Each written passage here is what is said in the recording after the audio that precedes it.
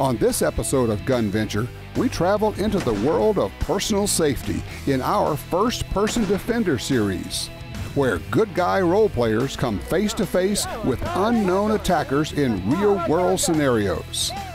Chris Cerino offers training tips for situations anyone could face. But if you stand here and this guy c- catches something like this, like you throw your hands up like that, out of his peripheral, what do you think he's going to do? No, I don't know Elisa. I don't know Elisa, man. Yeah, you heard him. You see what's going on? Messing with her. on? Yes. Hold on, hold on. You see what's going on? Last weekend. Dude, I'm a Come married here, come here, man. No, no, no.